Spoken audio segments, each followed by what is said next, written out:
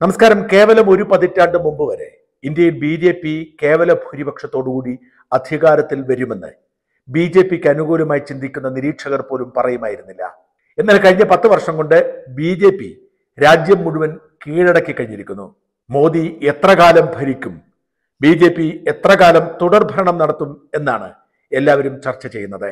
ദേശീയ തലത്തിൽ B J പിയെ നേരിടാൻ കെൽപ്പില്ല എന്ന് തിരിച്ചറിഞ്ഞ് പല കോൺഗ്രസ് ദേശീയ നേതാക്കളും കളം വിട്ടുകഴിഞ്ഞു അധികാരം ഏറെ ആഗ്രഹമുള്ളവർ ബി ജെ പി ക്യാമ്പിലെത്തി മറ്റു പലരും പണി നിർത്തി വീട്ടിലിരിക്കുകയോ മറ്റെന്തെങ്കിലും തൊഴിൽ ചെയ്യുകയോ ആണ്.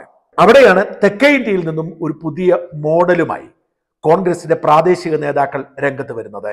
ആ മോഡൽ ആദ്യം വിജയിച്ചത് തെക്കേ ഇന്ത്യയിൽ ബി ജെ പിക്ക് ഏറ്റവും അധികം സ്വാധീനമുള്ള കർണാടകയിലാണ്. മറ്റെല്ലാ സംസ്ഥാനങ്ങളും ബി ജെ പിയെ വേലി കെട്ടി അകറ്റി നിർത്തുമ്പോൾ കർണാടക മാത്രം ബി ജെ പിയെ നേരത്തെ സ്വീകരിച്ചിരുന്നു. അവിടെയാണ് ഡി കെ ശിവകുമാർ എന്ന ഒരു തന്റേടിയായ നേതാവ് കർണാടകയിലെ കോൺഗ്രസിന്റെ തിരിച്ചുവരവിന് കാരണമായി മാറിയത്.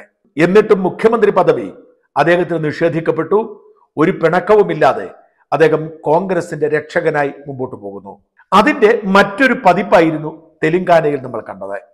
അതിന് ചുക്കാൻ പിടിച്ചതും ഡി കെ ശിവകുമാർ തന്നെയാണ്. കർണാടക മോഡൽ തന്നെയാണ് തെലങ്കാനയിലും പരീക്ഷിച്ചത്.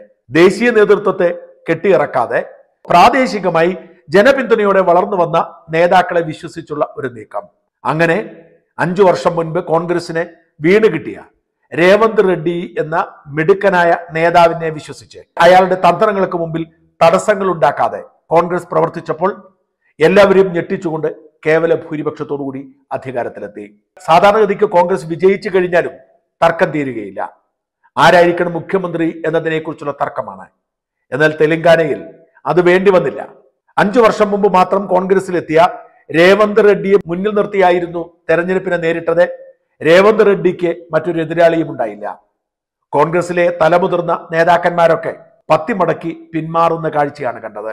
ഓർക്കണം മൂന്ന് സംസ്ഥാനങ്ങളിൽ ഭൂരിപക്ഷം നേടിയ ബി ജെ പിക്ക് ഇതുവരെ മുഖ്യമന്ത്രി സ്ഥാനാർത്ഥിയെ നിശ്ചയിക്കാൻ പോലും കഴിയാത്തപ്പോഴാണ് തെലങ്കാനയിൽ കോൺഗ്രസ് സത്യപ്രതിജ്ഞ ചെയ്ത് അധികാരത്തിലെത്തിയത്. ഈ രേവന്ത് റെഡ്ഡിയിൽ നിന്നും ഒരുപാട് പഠിക്കാനുണ്ട് എല്ലാവർക്കും. പ്രത്യേകിച്ച് സി പി എമ്മിന്. രേവന്ത് റെഡ്ഡി ജനങ്ങളോട് പറഞ്ഞ വാക്കുകളെല്ലാം അധികാരമേറ്റ അന്നു മുതൽ പാലിച്ചു തുടങ്ങി. ആദ്യം ഒപ്പുവെച്ചത് ഭിന്നശേഷിക്കാരിയായ ഒരു വനിതയ്ക്ക് ജോലി കൊടുക്കുന്ന ഫയലിലാണ്. മുഖ്യമന്ത്രിയുടെ വസതിയുടെ പേര് പ്രജാഭവൻ എന്നാക്കി മാറ്റി. അവിടേക്ക് ഏത് സാധാരണക്കാരനും എപ്പോഴും കടന്നു വരാം മുഖ്യമന്ത്രി ഉണ്ടെങ്കിലും ഇല്ലെങ്കിലും. മുഖ്യമന്ത്രി ഉണ്ടെങ്കിൽ അവർക്ക് കാണാം. ഇല്ലെങ്കിൽ മുഖ്യമന്ത്രിയുടെ ഓഫീസിൽ കാര്യങ്ങൾ പറയാം. മുഖ്യമന്ത്രിയുടെ ഓഫീസിലേക്ക് സുരക്ഷയുടെ പേരിൽ ഉണ്ടാക്കി വെച്ചിരുന്ന ബാരിക്കേഡുകളും വേലുകളുമെല്ലാം പൊളിച്ചു നീക്കി. ആർക്കും കടന്നു വരാവുന്ന സാഹചര്യമൊരുക്കി ഒരു കാര്യം ഓർക്കണം. രാജ്യത്ത് ഏറ്റവും അധികം നക്സൽ പ്രസ്ഥാനത്തിന് വേരുള്ള സംസ്ഥാനങ്ങളിൽ ഒന്നാണ് തെലങ്കാന. എത്രയോ പതിറ്റാണ്ടുകളായി തെലങ്കാന നക്സലിസത്തിന്റെ വിളഭൂമിയാണ്. തെലങ്കാനയിൽ പല ആളുകളും വെടിയേറ്റ് മരിച്ചിട്ടുണ്ട്. ഒരുപാട് പോലീസ് ഓഫീസർമാർ കൊല്ലപ്പെട്ടിട്ടുണ്ട്. ആ തെലുങ്കാനയിലെ മുഖ്യമന്ത്രിയാണ് തന്റെ സുരക്ഷയെ പോലും അവഗണിച്ചുകൊണ്ട് ബാരിക്കേഡുകൾ നീക്കം ചെയ്ത് വേലിക്കെട്ടുകൾ പൊളിച്ചു മാറ്റി സാധാരണ മനുഷ്യർക്ക് വേണ്ടി വാതിൽ തുറന്നു കൊടുത്തത്. സത്യപ്രതിജ്ഞ ചെയ്ത അന്നും പിറ്റേ ദിവസവും അദ്ദേഹം സ്വന്തം വസതിയിൽ ജനസമ്പർക്ക പരിപാടി നടത്തി. ഭിന്നശേഷിക്കാരാണ് കൂടുതലും അദ്ദേഹത്തെ തേടിയെത്തിയത്. അവരുടെയൊക്കെ പ്രശ്നത്തിന് പരിഹാരമുണ്ടാക്കാൻ മറ്റു മന്ത്രിമാരെയും നിർത്തി.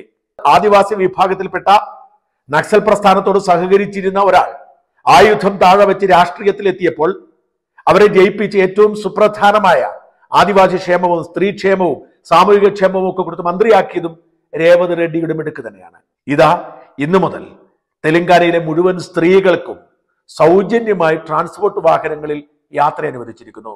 അത്ര എളുപ്പമാവില്ല അത് മുമ്പോട്ട് കൊണ്ടുപോകാൻ നമ്മുടെ നാട്ടിൽ നികുതി അടക്കാഞ്ഞിട്ട് ഇൻഷുറൻസ് അടക്കാഞ്ഞിട്ട് സ്വകാര്യ വാഹനങ്ങളെക്കാൾ കൂടുതൽ നിരക്ക് ഈടാക്കിയിട്ട് പല റൂട്ടുകളും സ്വന്തമാക്കി വെച്ചിട്ട് K S R T C മുമ്പോട്ട് കൊണ്ടുപോകാൻ നമ്മൾ അങ്ങോട്ട് കാശ് കൊടുക്കണം.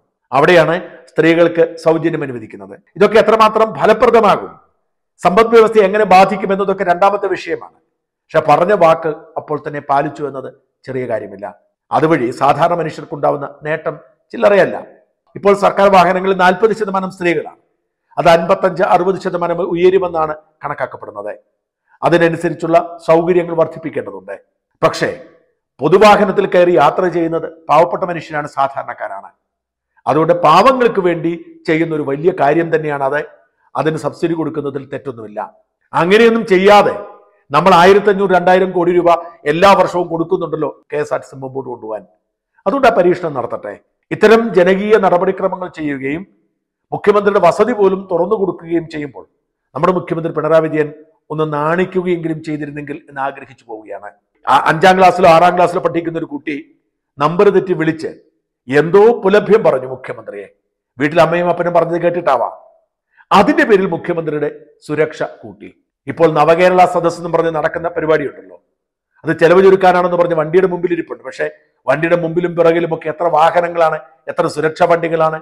ഒപ്പം മുഖ്യമന്ത്രിയുടെ വാഹനവും അകമ്പടി വാഹനവും പിന്നാലെയുണ്ട്. ഏതോ ഒരു പൊതുപ്രവർത്തകൻ കരിങ്കൊടി കാട്ടിയതിന്റെ പേരിൽ മുഖ്യമന്ത്രി സുരക്ഷ പിന്നെയും കൂട്ടി. എത്ര വാഹനങ്ങളാണ് മുഖ്യമന്ത്രി സുരക്ഷയ്ക്ക് വേണ്ടി ഉള്ളതെന്ന് ആർക്കും അറിയില്ല. ചുറ്റുമുതൽ ഇടയ്ക്കിടയ്ക്ക് പൊളിച്ചു പണിയും മുഖ്യമന്ത്രിയുടെ വസതി ഇരിക്കുന്ന നന്ദൻകോട് കൂടി ഒന്ന് പോകണം മുഖ്യമന്ത്രി വസതിയുടെ അപ്പുറത്തും ഇപ്പുറത്തുമുള്ള സകല വഴികളിലും പ്രത്യേകം പ്രത്യേകം പോലീസ് എയ്ഡ് പോസ്റ്റുകളാണ് കസേരയിട്ട് പോലീസുകാർ അവിടെ ഇരിക്കുന്നത് കാണാം. സകലയിടത്തും ക്യാമറയാ. നമ്മുടെ രാജ്യത്ത് ഒരു മുഖ്യമന്ത്രിക്കും ഇങ്ങനെ ഒരു സുരക്ഷ ഉണ്ടാവാൻ സാധ്യതയില്ല. ആരെയാണ് മിസ്റ്റർ വിജയൻ നിങ്ങൾ ഭയപ്പെടുന്നത്? ജനത്തെയോ? തെലങ്കാനയിൽ നക്സലുകൾ പൂണ്ടുവിളയാടുന്നിടത്ത് മുഖ്യമന്ത്രിക്ക് അവരെ പേടിയില്ല. ഇവിടെയോ മുഴുവൻ സി പി എമ്മുകാരാ? എവിടെ തിരിഞ്ഞാലും ഏത് മുക്കിൽ ചെന്നാലും സി പി എമ്മുകാരാ? രക്ഷാപ്രവർത്തനം നടത്തിക്കൊണ്ടിരിക്കുകയാണല്ലോ. എതിരാളികളെ ചടിച്ചട്ടി കൊണ്ടും ഹെൽമറ്റ് കൊണ്ടും തല്ലുന്ന രക്ഷാപ്രവർത്തനത്തിൽ ഏർപ്പെട്ടുകൊണ്ടിരിക്കുകയാണ്.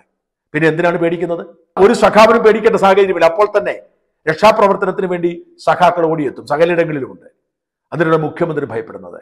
അപ്പോൾ ആരെയാണ് മുഖ്യമന്ത്രി ഭയപ്പെടുന്നത്? സാധാരണ മനുഷ്യരെയോ സഖാക്കളെയോ? കണ്ടുപിടിക്കൂ രേവന്ത് റെഡ്ഡിയെ.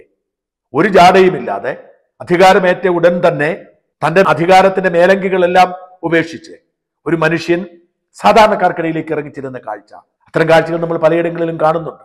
പക്ഷെ നമ്മുടെ മുഖ്യമന്ത്രിക്ക് മാത്രം ജനങ്ങളെ കണ്ടുകൂടാ?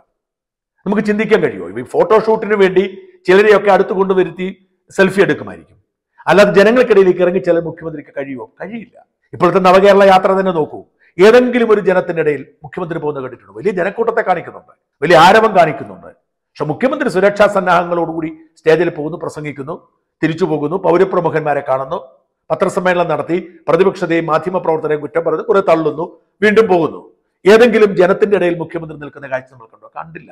അറിയാതെ ഒരു ചെറുക്കന്റെ കൈ കൊണ്ടപ്പോൾ മുഖ്യമന്ത്രിയുടെ കോപം നമ്മൾ കണ്ടതാണ് പിന്നെ അത് നാണക്കേടാവാതിരിക്കാൻ അവരെ വിളിച്ചു വരുത്തി തമാശ പറഞ്ഞു വിട്ടു.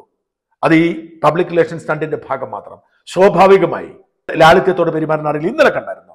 മുഖ്യമന്ത്രി പത്രസമ്മേളനത്തിൽ ആരും ചോദിച്ചു തന്നെ സ്വഭാവം മാറി. അതൊരു സാധാരണ മാധ്യമ പ്രവർത്തനത്തിൽപ്പെട്ടതല്ല. അത് നിങ്ങൾക്ക് നിങ്ങൾക്ക് കരിങ്കൊടി കാണിക്കേണ്ട ആവശ്യമില്ലായിരുന്നു. നിങ്ങൾ നിങ്ങളോടല്ലല്ലോ ഞാൻ പറയുന്നത് ഞാൻ പറയുന്നയാളോട് പറഞ്ഞു കഴിയട്ടെ നിങ്ങളെന്താ ഇതിനകത്ത് വലിയ തിരക്കൂട്ടുന്നുണ്ട കാര്യം? ഞാൻ പറഞ്ഞു അദ്ദേഹം ചോദിച്ചതില്ലേ ഞാൻ പറയുന്നു. അദ്ദേഹത്തിന്റെ രക്ഷക്ക് നിങ്ങൾ ഈ വീഴേണ്ട കാര്യമുണ്ട്? നിങ്ങളെ രക്ഷ ഉണ്ടെങ്കിൽ അദ്ദേഹത്തെ ചോദിക്കാൻ പറ്റൂ ഞാൻ പറയുന്ന കാര്യങ്ങൾ ഞാൻ പറയില്ലേ? അത്ര അസഹിഷ്ണുതയാണ് മുഖ്യമന്ത്രിക്ക്. താൻ വലിയൊരു സംഭവമാണ് താനൊരു മഹാനാണ് എന്ന് കരുതി ജീവിക്കുന്നത് കൊണ്ടാണ്. ഈ രേവന്ത് റെഡ്ഡിയെ കണ്ടുപഠിക്കൂ. അമ്പത്തിനാല് വയസ്സേ ഉള്ളൂ. ഇനി ആറോ ഏഴോ തെരഞ്ഞെടുപ്പ് കഴിഞ്ഞാലേ പിണറായി വിജയന്റെ പ്രായമാകൂ കണ്ടുപഠിക്കൂ. കേരളം പോലൊരു സ്ഥലത്ത് ഇങ്ങനെ അധികാരത്തിന്റെ ജാട കാണിച്ച് അധികകാലം മുമ്പോട്ട് പോകാൻ കഴിയില്ലെന്നും മനുഷ്യന്റെ മനസ്സിൽ തെറ്റായ ഒരു സന്ദേശമായിരിക്കും മുഖ്യമന്ത്രിയെ കുറിച്ച് കിട്ടുന്നതെന്നും ചരിത്രത്തിൽ രേഖപ്പെടുത്താൻ പോകുന്നത് ഭീരുവായ ദൂർത്തനായ ജനവിരുദ്ധനായ മുഖ്യമന്ത്രി എന്നാവും എന്ന് ഇനിയെങ്കിലും മനസ്സിലാക്കുക. രേവന്ത് റെഡ്ഡി. പിണറായിയുടെ കണ്ണു തുറപ്പിക്കട്ടെ എന്ന് മാത്രമാണ് പ്രാർത്ഥന.